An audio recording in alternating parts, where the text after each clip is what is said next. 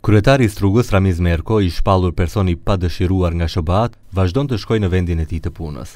Kamera e Televizionit njëzet e një e filmoi atë duke biseduar me një person në ballkonin e komunës, para të cilit, mes të tjerëve, është i vendosur edhe flamuri amerikan. Ndonëse shkon në punë, Merko nuk është i hapur për të folur për mediat. Nga kabineti i tij me një sjellje nervoze na thanë se është i zënë dhe se nuk do të prononcohet. Ndodhemi para komunës së Strugës. Tani më disa ditë po mundohemi të marrim një qëndrim nga kryetari i kësaj komune, zotëri Ramiz Merko, i cili gjendet në listën e zezë të Amerikës, por ai është i pakapshëm për mediat. Gjatë ditës së sotme shërbimi i tij na thanë se ai është i zënë dhe nuk mund të japë një deklaratë, ndërsa do të na lajmërohen nëse ndodh një gjë e tillë. Megjithatë, ata potencuan se partia tani më ka dhënë një qëndrim Sa i takon situatës së krijuar së fundmi. BDI e ngriu anëtarësinë e Merkos në kryesinë e partisë, por ai vazhdon të mbetet në detyrën si kryetar komune. Pikërisht këto hapa të BDI-së i kritikoi Aleanca për Shqiptarët, e cila në Strugë është opozitë.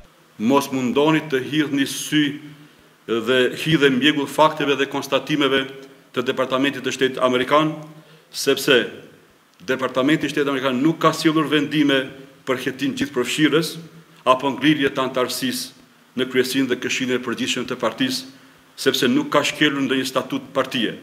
Por, Departamenti i Shtetit amerikan kanë sjellur vendim për shpallje persona non grata për kryetar komune. Për çka kanë dalur për njëzet e katër orë me më shumë deklarata këtu qëndroni. Ngrirjen e anëtarësisë së Merkos në BDI nga Alternativa e quajnë hipokrizi të re. T'ua lësh në dorë këtë rast të ashtuquajtur institucione dhe askush të mos marrë përgjegjësi politike. Kjo është kulmi. Po nëse ne do të kishim pasur institucione dinjitoze që veprojnë Nuk do të kishte nevojë që SHBA-ja na e bëjë listën e politikanëve të korruptuar. Nga Lëvizja Besa kërkojnë dorëheqjen e Merkos nga komuna dhe shpalljen e zgjedhjeve. Populli i Strugës nuk e meriton këtë turp dhe Merko duhet të jep përgjegjësi para organeve të drejtësisë për bëmat e tij.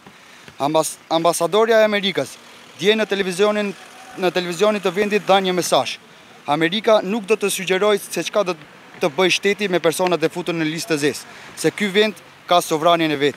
Andaj, ne si sovran i këtij vendi kërkojmë nga personi non grata Merko dhe partia non grata BDI që të heqin dorë nga institucionet dhe të shpallin zgjedhjet. Nga VMRO-DPMNE-ja në Strugë thonë se autoritetet që janë juridikisht kompetente për të hetuar punën e Merkos aktualisht janë të pushtuara nga pushteti ekzekutiv dhe bashkëpunojnë drejtpërdrejt me të.